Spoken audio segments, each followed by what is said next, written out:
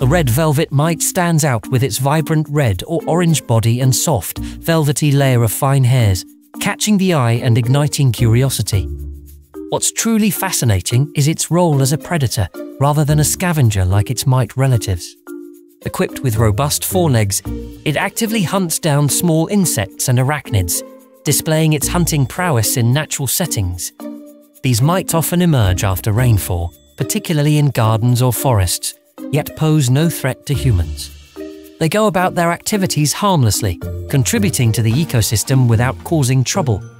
Some species even exhibit social behavior, gathering in groups during mating or movement, fostering a sense of community amidst the vastness of their environment.